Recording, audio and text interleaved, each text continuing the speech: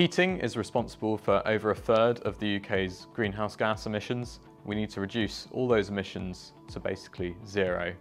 So that means going from all the gas boilers and the oil boilers that we use now to using low carbon alternatives. The UK government has an aim for uh, over 600,000 heat pump installations per year by 2028.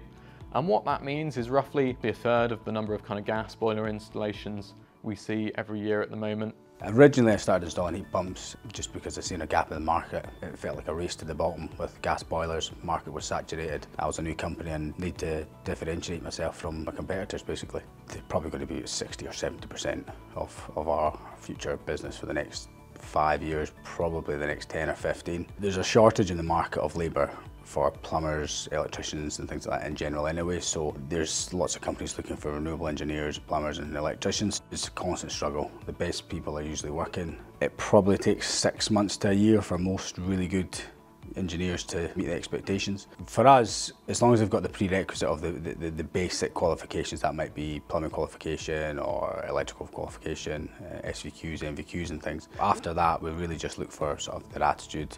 An analysis by the Heat Pump Association has estimated that we've probably got around a need for 35,000 installers. So there's a really great opportunity to get involved in installing heat pumps. Apply yourself to what you want to know and make sure that you go down the right routes. And we're trying to create the right route. Speak to MCS. They'll give you guidance. That's what they're for. They're our standard. They're our gas safe for the industry.